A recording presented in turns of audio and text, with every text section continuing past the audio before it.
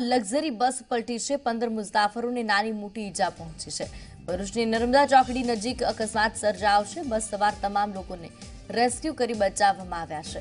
એકસો આઠ દ્વારા ઈજાગ્રસ્તોને સિવિલ હોસ્પિટલ ખસેડવામાં આવ્યા.